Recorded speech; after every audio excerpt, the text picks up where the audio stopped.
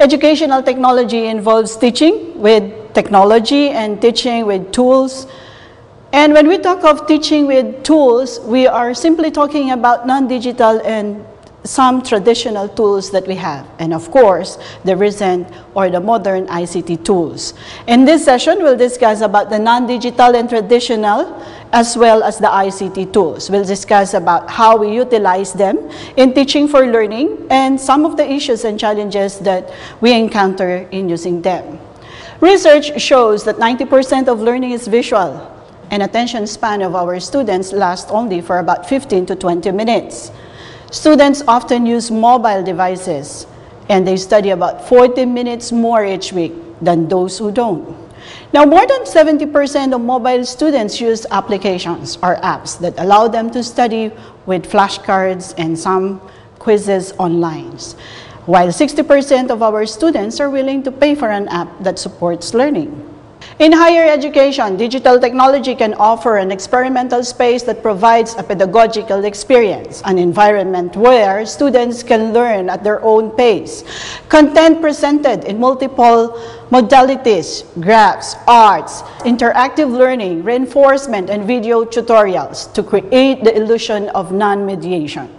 Content presented in small chunks offers an agile, up-to-date information. Recent technologies has changed the paradigm of education from consumption, creation, to collaboration.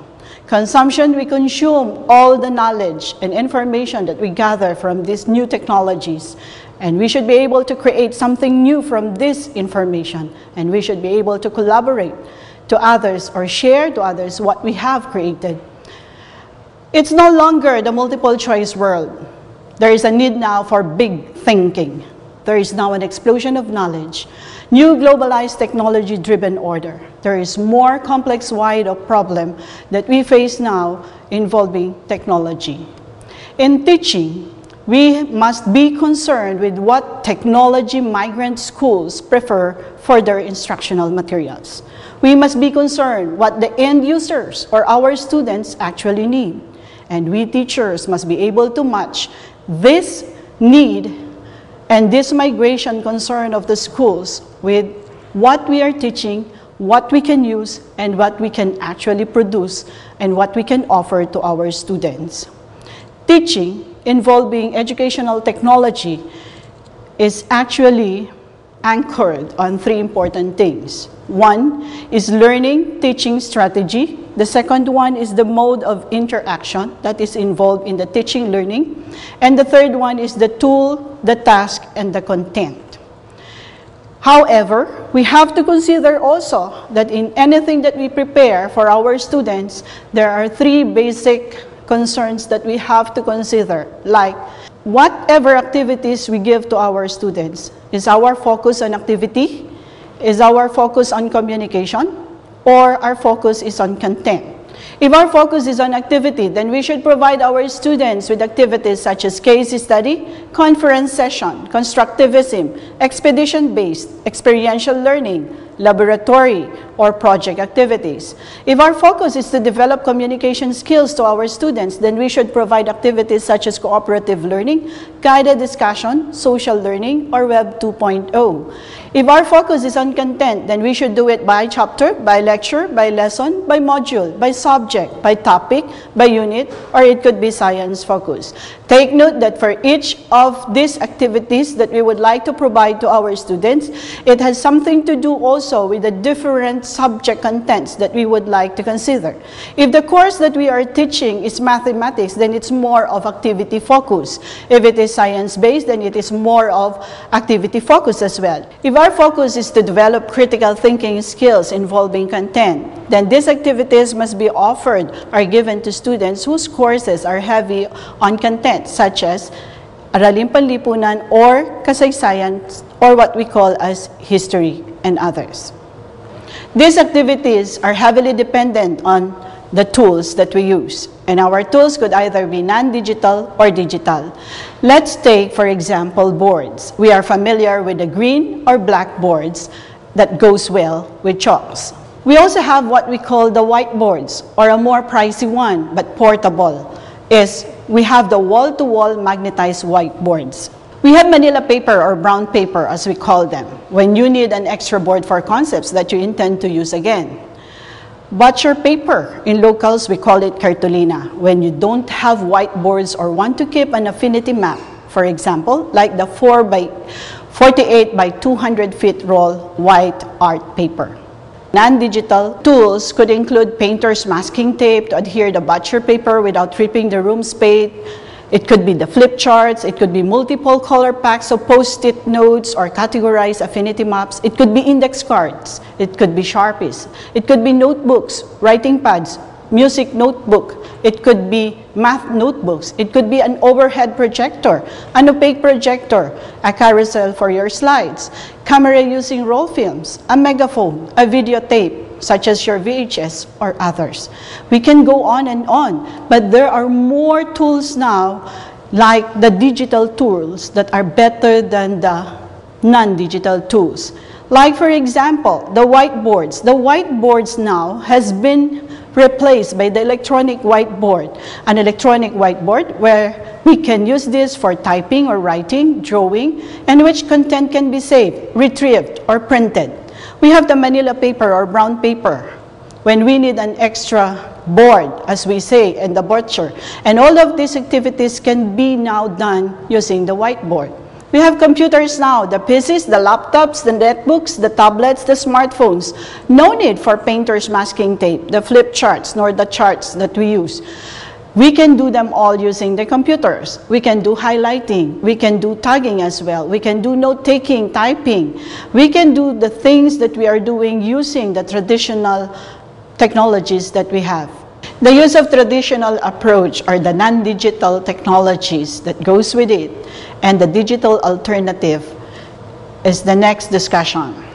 If the skill that we want to develop is about note-taking, the activity or the traditional approach that we will use is about handwritten notes. The digital alternative to this is brainstorming using text entry tools and word processing softwares, using other organizing digital technology, such as the Blooms and graphical organizers, the mind mapping tools. We have also the Draw Anywhere, the mind map, or we can make use of the iThoughts, the Simple Mind X, the Whiteboard HD. It could be the iBrainstorm. Or we can make use of word processing tools such as the Open Office, the Star Office Writer, the MS Word, the Adobe Buzzword, and such as collaborative note-taking tools such as Wallwisher, the iPad iWorks pages, the notes. We can also have the stylus text entry, the tablet PCs, or we can have graphic tablets, blogging tools. For blogging, we have the microblogging tool. We have the Posterous, or we can even have the ebook creation tool if we want our students to create some activities related to journal writing. If the activity is about coming up with diagrams, mind maps, graphical organizers, and flowcharts, our traditional tool is to make use of butcher paper or diagrams and flowcharts. The alternative to this is using flowchart mind mapping software such as the Gliffy, the Draw Anywhere, the whiteboard, the iBrainstorm, the iThoughts, the MindMeister, the iPad iThoughts, the Simple Mind X, or it could be the whiteboard. If the activity is about formal writing, the tool is as simple as the paper. The alternative to this is using a word processing software or a desktop publishing software or an online publishing, such as we have the My ebook. We have the collaborative writing tools such as the Google Documents, the Zoho Documents. We have the Wiki. For drafting processes, the tool or traditional tool that we use is the drafting table. The alternative to this is we make use of word processing software, such as the Star Office. You have the MS Word. You have the Notepad. You have the PrimeYard Pad. We have the collaborative writing such as the Google Documents, the collaborative note-taking. If the activity is about formal communication, example is writing letters, then the electronic or digital alternative to this is to make use of the electronic mail and word process documents. Tools that we can use includes electronic mail, online solutions such as Microsoft Exchange, discussion boards, Blackboard or WebCT, Star Office, MS Word, documents and other note takers such as Zoho, Open Office, Adobe Buzzword, the Impress, the PowerPoint. We have the Keynote, we have the SlideShare, the voice thread, the Prezi. For collaborative writing, we can make use of Google Documents, we can make use of Wiki or Zoho Documents, the Etherpad or the Protagonize. If the activity is about informal communications, the alternative to this is making use of electronic mail, instant messaging, or threaded discussion. So we have the Gmail, we have the Hotmail, we have the first class mobile me, we have instant messaging, we can make use of Moodle, Outlook, Skype, iChat, we have the Ning, we have WordPress, we have Blogger, we have EduBlogs, we have Wallwisher, and of course we have the Twitter. If the activity is about research, research from the traditional using the encyclopedia, the alternative to this is using the online encyclopedia. We have online encyclopedias such as the Britannica Online, the Wikipedia and the Wikipedia Schools Offline. We can make use of the Citizendium. We have the Living Library that we can make use of. We have dictionaries, the online dictionaries like the Oxford Dictionary, the Cambridge Dictionary. We also have the iPad online dictionary. If the activity is about research from newspapers, journals, and magazines, the digital alternative to this is to come up or make use of the online newspapers. We can make use of web browsers, Internet Explorer, Safari, Opera, Firefox. We can have aggregators. We can make use of the Google Scholar as well. If we want to do bookmarking tools, then we can make use of iPad, Router app, we have the BBC app, we have the TVNZ app, we have the News Pro app, and others. If the activity is about general research, then we can make use of some research engines and directories. So we can make use of Internet Explorer, the Opera, the Firefox, and other online encyclopedias. If our, the activity is about presenting material, the traditional way is we simply ask the students to create posters. The digital alternative to this is to come up with presentation using presentation softwares, graphic tools, web publishing. We can make use of presentation software such as Impress, PowerPoint, Google Documents. We have the Open Office, we have the Voice Thread, the SlideShare, we have the Prezi, we have the iWorks, the Keynote, the Presenter, the Projector, we have the Remote Story Kit, or we can make use of the Zoho documents, or we can make use of the Microsoft Publisher. We can make use of the Adobe PageMaker, the CorelDRAW, the Star Office, the Inkscape, and so many other free resources that we can make use. If the activity is about watching videos, the alternative to this is coming up or using the digitized resources. We can make use of the QuickTime, ask the students to use YouTube, the TeacherTube, or the TED.com, or we can make use of the VLC player. If the activity is about journals, the traditional way is to process journals, come up with diaries, and others. The digital alternative to this is to come up with blogs, microblogs, videos, and podcasts. For blogs, we can make use of Classroom Blogmaster, First Class, WordPress, the Ning, the Blogger, EduBlogs, Bloglines. We have the Posterous, we have the WordPress. For microblogging, we can make use of Twitter.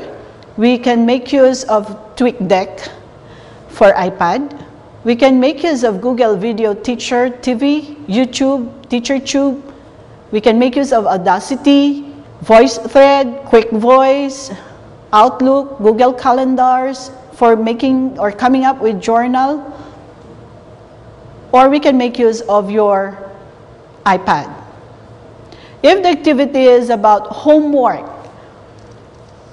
and we want our students to come up with traditional homeworks like distributing homework and assignments, we can make use of traditional tool such as the pen and the paper, but the alternative to this is the electronic mail, posting to conferences, forums, wikis, and others. Digital tools that we can make use includes electronic mail, such as Gmail. We have, for wiki, we can make use of Moodle. We can make use of Blackboard. We can make use of Moodle. For threaded discussion, we have the first class Moodle. We have Blackboard. For blogs, we have, we have Classroom Blogmaster. We have WordPress. For microblogging and SMS, we can make use of Twitter, texting, and SMS, online storage, Dropbox, iDisk, MobileMe, or even the mobile phones. If the activity is about collecting homework, collecting homework is simply asking the students to pass the paper or the activities of the students. The digital alternative to this is coming up or having a Dropbox. The tools that we can make use would include electronic mail, online solutions, again, such as Gmail and others. We have Microsoft Exchange. We can have threaded discussions as well, and uh, Evernote. If the activity is about paper-based tests, then the digital alternative to this is having electronic tests.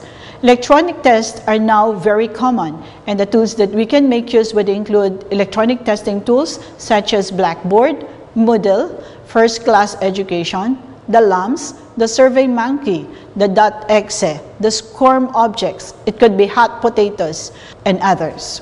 If the activity is about voting and surveys, the traditional is that we use the paper-based or show of hands. Digital tools would include online survey, and polling tools such as First Class Education, Moodle, SurveyMonkey.exe, SCORM, Objects, part of Google Documents, that is the Google Forms. We can also make use of some survey tools associated with blogs, wikis, IM tools, and some microblogging and SMS such as Twitter, texting, and SMS. If the activity is about discussion, the digital alternative to this is using asynchronous and synchronous tools, the instant messaging, chat rooms, forums, threaded discussions, and wikis. The tools that we could use would include electronic mail. We can have online solutions, Hotmail, Gmail. We can have hosted solutions such as Microsoft Exchange. For wiki, we can make use of First Class, Moodle, Ning, Blackboard. We can have wiki spaces. We can have WetPaint wikis. For threaded discussion, we can have Moodle. We can have blogs as well. We can have social networking tools. We can have microblogging and SMS, audio and video conferencing, and collaborative writing tools. If the activity is about graphical organizer, the digital alternative to this is brainstorming mind mapping software. We can make use of mind mapping such as Babolas, Gliffy, CMAP tools, we have Whiteboard Inspiration, Kidspiration, we have FreeMind, we have Mind Manager, Microsoft Visual Smart Ideas, we have Compendium. We can also make use of iBrainstorm. But for collaborative writing, we can make use of Google Documents, Zoho Documents, or Protagonize. If the activity is about time management, such as using personal project group or organization that involves time management activities for the students, the digital alternative to this is using the calendaring tools, project and task management software, such as the Outlook, the Outlook Express, the First Class, the project management tools such as the Gantt project, the MS project, the Open project, or we can make use of the task management tools such as the Task Coach or the MS Outlook. If the activity involves mathematics, maths and data processing that usually involves paper-based and calculator. The traditional way is simply make use of paper, calculator, and pen. The digital approach or alternative is making use of spreadsheets and calculators. Tools under this would include Spreadsheet, Star Office, Calc, the Star Office, the Math Office, the MS, Excel. For the numbers, we can make use of the acrobat.com, we can make use of the note taker by Zoho. We can make use of numbers by using your iPad. We can make use of calculators, the standard and the scientific calculators, or we can have online resources using WebMath or the math board. If the activity involves about board games, the digital alternative to this is make use of the RPG and electronic games, such as the Game Maker, the Popfly RPG Maker, the Sims Online. If the activity is about timelines or visually representing events, the digital alternative to this is to have an online timeline tools. We have the President, we have the xtimeline.com, we have the timeline.com, timeloss.com, timeglider.com, and dipity.com. If the activity is about bibliography and developing bibliography, the digital alternative to this is to make use of the online bibliography tools, such as the online citation tools like the EasyBib, the Landmarks Project Son of Citation Machine, you have the Zotero, you have the BibMe, you have the Delicious as well. Educational technology is very important, so as digital and non-digital tools. So these are the tools that we use for communication. If we want to develop collaborative skills to our students, tools for inquiry, if we want to develop the critical thinking skills to our students, tools for construction, if we want to develop the creative skills with, to our students. So we always go back to the question, how do digital natives learn? And how do we teachers teach? There are different tools, different media, different languages, and students learn differently outside and inside the classroom. Digital and non-digital technologies have changed the language, the function, the structure, the vocabulary, the context, standards, and outcomes of education. There are so many tools, so many different ways, so many strategies, so many principles. But all of this depends on the readiness of your students to use technology, the readiness of you teachers to use technology inside the classroom and outside the classroom, the readiness of your infrastructure in your schools, and the place where your students will access technology. And of course, the last part is the support of your administration. It's about time that you revisit your own toolbox, teachers, and try to find out what you have in there. It's about time that you fill up your toolbox.